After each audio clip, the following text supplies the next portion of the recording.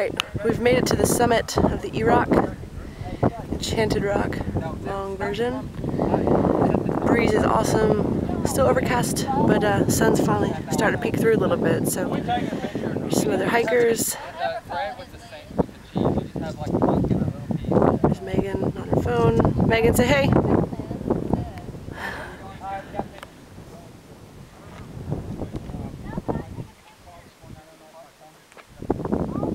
Think we're 450 something feet above sea level. But uh, yeah, it's beautiful up here.